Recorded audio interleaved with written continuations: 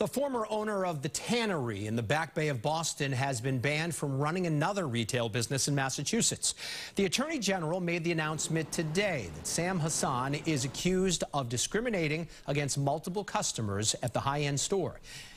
Maura Healey says that Hassan needs to compensate the victims of his alleged racist discrimination with up to $222,000 in restitution. The tannery, by the way, has been closed since 2019.